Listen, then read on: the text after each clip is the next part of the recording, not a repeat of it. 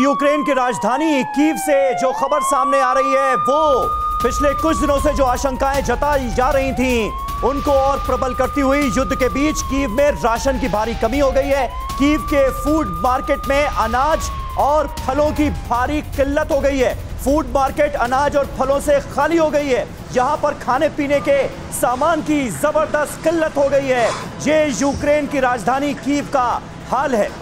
लगातार जिस तरह से वॉर सायरन बजाए जा रहे थे, हमने देखा डिपार्टमेंटल स्टोर्स के बाहर लोगों की लंबी लंबी कतारें नज़र आईं और लोग रसद और राशन इकट्ठा करते हुए नज़र आए। लेकिन अब ये आलम है, ये देखिए, ये तस्वीरें आपके सामने हैं। ये आलम है डिपार्टमेंटल स्टोर्स का।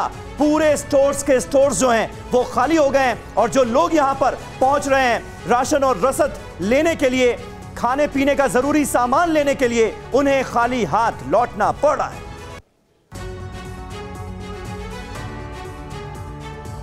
बात इस वक्त की एक और बड़ी खबर ही कर लेंगे। अब रूस बनाम नाटो की जंग के मिलने लगे हैं साफ़ साफ़ संकेत। आपको बता दें, रोमानिया का fighter jet MiG 21 Black Sea में क्रैश हुआ है। रोमानियाई जेट को मार गिराए जाने का अंदेशा जताया जा रहा है। रोमानिया ने छानबीन के लिए आई आर हेलीकॉप्टर भेजा है। सर्च के लिए गया रोमानियाई, आई आर हेलीकॉप्टर भी क्रैश हो गया है। अब नाटो का multi role aircraft A three thirty three, two forty three मौके पर पहुँचा है।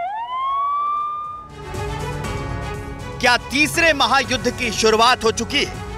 क्या नाटो और रूस का टकराव शुरू हो चुका है? क्या दुनिया के तमाम मुल्कों को अपनी चपेट में लेने वाले महाविनाशकारी युद्ध के ऐलान की सिर्फ़ औपचारिकता बाकी है? रूस और यूक्रेन की जंग के बीच रोमानिया से बड़ी खबर आई है। उसका मिग 21 फाइटर जेट और एक हेलीकॉप्टर तबाह हो गया। पेट्रोलिंग पर निकला।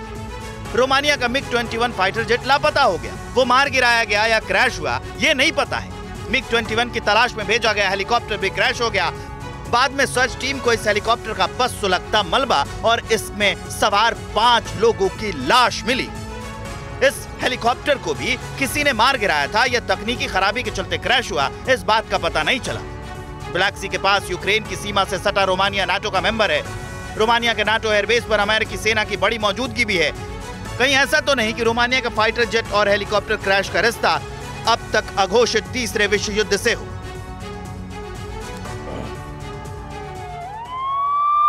तो अगली खबर का रुख करते एक और बड़ी खबर, उसी युद्ध के मैदान से, जहाँ पर कीव के खारकीव के साथ रूस के निशाने पर ओडेसा भी है।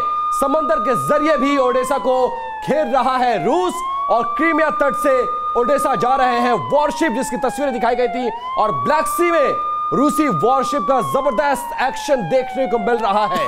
पश्चिमी क्रीमिया तट पर जहाजों का लंबा काफिला देखने को मिला है।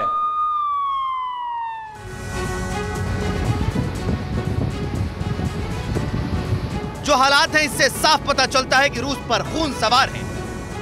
पुतिन के माथे पर यूक्रेन को जीतने का जुनून सवार है। और जितनी भी विध्वंसों और तैयारियों की तस्वीरें आ रही हैं, उससे कम से कम यही साबित हो रहा है। रूस जिस तरह की तैयारियाँ कर रहा है और यूक्रेन पर जैसे हमला कर रहा है, विश्व बिरादरी की मान ही नहीं रहा। उससे एक बात तो साफ़ है कि रूस इस लड़ाई को किसी न किसी अंजाम तक पहुंचाकर ही मानेगा। चाहे बर्बादी ही क्यों न हो। ये देखिए, ये काला सागर की तस्वीरें हैं और पश्चिमी क्रीमिया का इलाका। यहाँ पर रूस के नौसैनिक तैयारी कर रहे हैं। ये संदेश दे रहे हैं कि रूस ने किस तरह की जंगी तैयारी की है। रूस ने पूरी प्लानिंग की है, वो नहीं रुकने वाला है।